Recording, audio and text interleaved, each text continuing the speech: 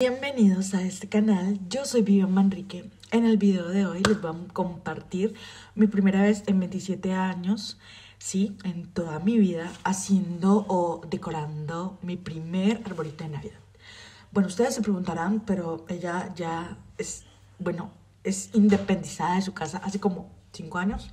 Efectivamente, yo me casé hace 5 años, pero el mismo año en el que me casé también tuvimos una tragedia horrible, así que fue precisamente para época de Año Nuevo y estábamos en Navidad pasando por una situación muy fea, la situación más horrible que nos ha pasado, el golpe más duro que nos ha pasado como familia y es que mi papá cayó en una enfermedad terminal y de la cual eh, pues perdió la batalla y se nos fue mi papá ese año. Entonces, ha sido muy difícil para nosotros. Y digo para nosotros porque ha sido muy difícil para toda mi familia, mis hermanos, mi mamá, eh, mis sobrinos, mis tíos, mis primos, como que seguir normal.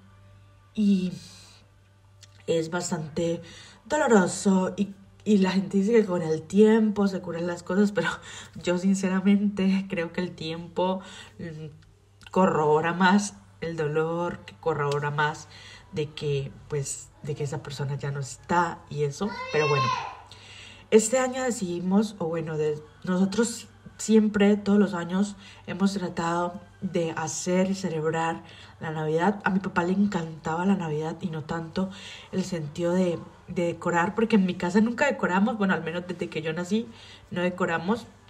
Eh, pero yo no tengo trauma de que, ay, nunca tuve arbolito de Navidad. No.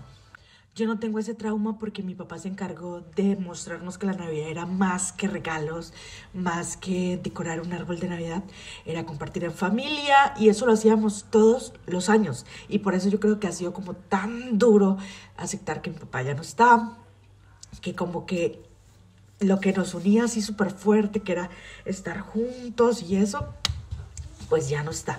Entonces, eh, nosotros hemos tratado de seguir celebrando, haciendo eh, cositas especiales para los niños, para mis sobrinitos, para mis primitos. Y bueno, por nosotros estar juntos y valorar más los pequeños detalles, valorar más a las personas que aún están. Entonces, eso es lo que hemos tratado de hacer durante todo este tiempo. Eh, y nosotros con mi esposo teníamos ganas desde el año antepasado de decorar para que mi hijo pues eh, tuviera una Navidad bonita. Pero el año pasado pues mi esposo estaba aquí y yo estaba en Colombia con mi familia. Traté de disfrutar al máximo mi familia. Como siempre lo he hecho, la verdad. Yo siempre trato de disfrutar mucho. Pero ellos saben que por más que yo esté lejos, yo los amo. Y bueno, eh, se me hace un poquito difícil también que ellos estén allá y yo acá. Y bueno, y cuando hay cosas muy bacanas para disfrutar, cada vez que conozco algo, algo nuevo o algo, se me hace muy difícil de que ellos no puedan compartirlo conmigo o vivirlo conmigo. Esto, pero bueno, trato de ser fuerte y bueno, Siempre hago videos para mostrarles a ellos y a ustedes también las cosas bonitas que me pasan y espero que ellos estén felices por mí y yo estoy muy feliz por ellos, por las cositas que puedan lograr y hacer. Y bueno, todo eso para decirles que ahora vamos a decorar nuestro propio arbolito de Navidad. Siempre en mi casa, como que siempre nos íbamos a la casa, cuando estábamos pequeños, a la casa de mi abuela, de mi abuelo. Ahí vivía mi tío y mi tía y mis tías, pero ahora pues ya vive solo mi tío y mi, y mi tía. Entonces ahora también vamos allá siempre, o sea, toda mi vida he ido allá a celebrar la Navidad. Entonces mi casa era como en una finca. Eh, entonces mi mamá decía que para qué la decoramos y nadie lo va a ver. Entonces al final no decorábamos ahí, nos íbamos para casa de mi tío. Y yo siempre estaba metida en todo, así que bueno, yo siempre me metía cuando ellos estaban decorando, me gustaba ver, me gustaba... Eh, ver cómo lo hacían, pero bueno, esta es mi oportunidad, mi primera oportunidad de decorar un árbol como yo quiero.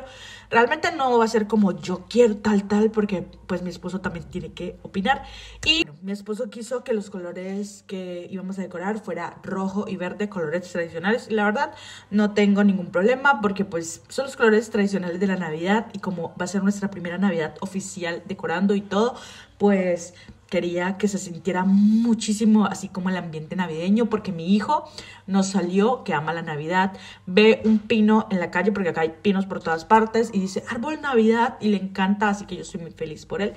También le hemos ido comprando regalitos que también los vamos a poner ahí, los envolví en cajitas, espero les guste mucho. Y bueno, no hablando más, traté de hacer esta decoración con bajo presupuesto y ya les voy a mostrar más adelante algunas otras cositas. Y bueno, ahora sí veamos cómo lo hice. Y bueno, empezamos a traer todas las cositas para arreglar nuestro arbolito de Navidad.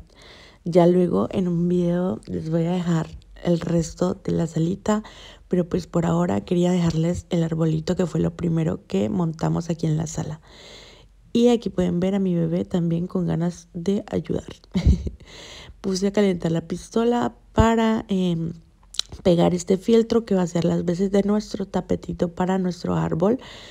Eh, y no le voy a poner pie de árbol porque mm, tenemos muchos regalos y los quiero poner desde ya. Mm, yo sé que mm, las tradiciones de la gente ponen los regalos el día anterior del 24 y eso, pero pues yo los quiero poner desde ya. Y los poniendo los que les traiga su tío y bueno, y eso. Y los que vaya comprando porque de pronto puede que vayan cayendo algunos otros regalos y así. Así que sacamos el árbol de la caja realmente nos esperábamos un árbol como más feito pues porque no fue que costó la gran cosa pero realmente me encantó y aquí lo fuimos armando. Nos tocó como peinarlo nosotros mismos así que si está un poquito como despeinado pues perdónenos. Es nuestra primera vez bueno al menos mi primera vez en 27 años que hago esto así que el próximo año seguro será mucho mejor pero realmente disfruté el proceso. Eh, no creí que fuera a sentir como esta sensación de Navidad así tan bonita desde hace cinco años. Creía que no la sentía, pero bueno. Mi hijo estaba muy feliz, gritaba que árbol Navidad, estaba muy feliz. Le quité el audio pues porque para que sea rápido el proceso, porque aquí nos tardamos como una hora o más en abrir todo el arbolito. Así que bueno, fue demasiado bonito para nuestra familia abrir este arbolito. Y bueno, aquí ya me puse a limpiar como los excedentes de arbolito que cayó por ahí y todo. Y probando las lucecitas y le pusimos las lucecitas. Las luces eh, compramos muy poquitas, pero la verdad, como les digo, tratamos de gastar el, al mínimo, pues porque tampoco es que tuviéramos demasiado.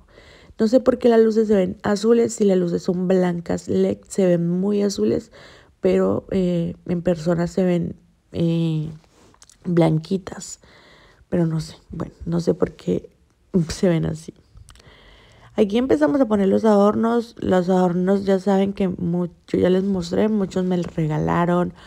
Los que compré fueron muy poquitos. Y también en otro videito les voy a dejar unos adornitos que vamos a hacer para el árbol de Navidad de manera muy muy económica y muy creativa. Así que ese videito ya lo van a tener muy pronto por aquí para que les sirva.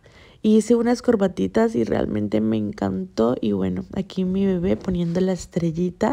Y ya así quedó mi arbolito. Realmente me encantó. Me falta dejarles unos detallitos que luego les voy a mostrar en otro video. Y bueno, aquí terminé de acomodar corbatincitos para ponerle más corbatincitos porque me encantó esta idea de verdad de los corbatines. Me encantó. Y ya este fue el resultado con los regalos que llevamos de mi hijo. Los regalos son 100% reales.